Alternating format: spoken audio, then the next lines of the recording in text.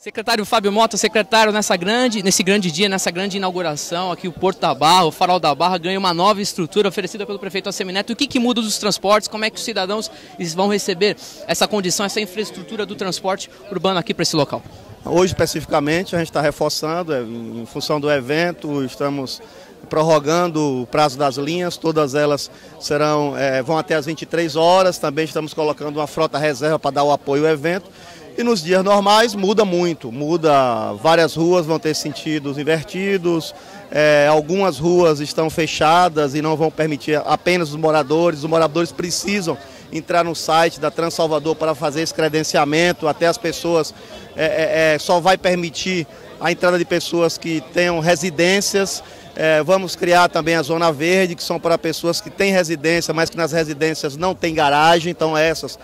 é, obrigatoriamente também tem que entrar no Trade da Salvador, fazer o credenciamento e depois ir até a Transalvador para poder assim é, é entregar o, o, credenciamento e fazer é, é, a sua entrada, dizemos assim, na, no, no, no projeto da Zona Verde.